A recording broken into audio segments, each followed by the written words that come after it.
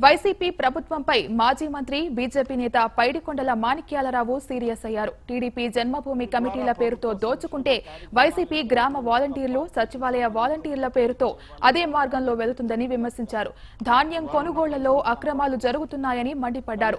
ఉభయ గోదావరి జిల్లాల్లో ఇప్పటికే ఐదు వందల కోట్ల రూపాయలు రైస్ మిల్లర్లు దోచారని మాణిక్యాలరావు విమర్శలు గుప్పించారు. ఒక్క అర్హుడికి అర్హత ఆధారంగా కాకుండా కేవలం పొలిటికల్ పార్టీ విధేయత ఆధారంగా ఇవ్వాలనే ఒక ప్రయత్నం జన్మభూమి కమిటీల ద్వారా చేసిన చంద్రబాబు నాయుడు గారికి ప్రజలు ఆ రకంగానే ఏదైతే శాస్తి చేశారో దీన్ని మనందరం కూడా ఒకసారి గమనించవలసిన అవసరం ఉందనే విషయాన్ని నేను మనవి చేస్తున్నా.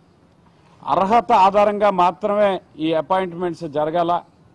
ఏదైతే గ్రామ గ్రామ వాలంటీర్లు కానీ సచివాలయ వాలంటీర్లు కానీ నిరుద్యోగ సమస్యతో ఉన్న ఈ రాష్ట్రంలో ఇది పొలిటికల్ యాంగిల్లో కాకుండా ఒక ప్రా పార్టీ విధేయులతో విధేయులతో రిక్రూట్ చేసే దిశగా కాకుండా అర్హత ఆధారంగా వారిని అపాయింట్ చేసే దిశగా ఒక నిజాయితీగా చర్యలు తీసుకోవాలని నేను ప్రీతమ ముఖ్యమంత్రి చంద్ర జగన్మోహన్ రెడ్డి గారికి విజ్ఞప్తి చేస్తూ ఉన్నా. అలాగే ఏదైతే ఈ ఉభయ గోదావరి జిల్లాలో ప్రధానంగా రైతులు ధాన్యం కొనుగోలులో సుమారుగా ప్రతి రైతు కూడా వంద నుంచి